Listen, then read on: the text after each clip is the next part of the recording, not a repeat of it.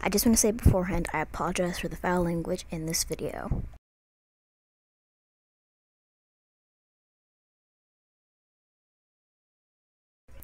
I just want to say, guys, I'm so sorry for the language that he used, but this is what he said after I shot him midair.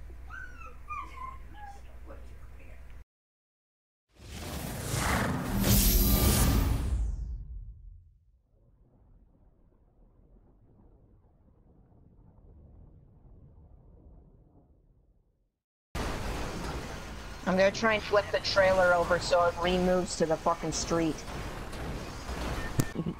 Take out that buzzer if it gets close.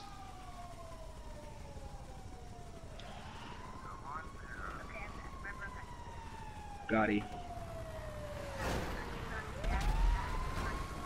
How'd the trailer get? Oh, the trailer's down there.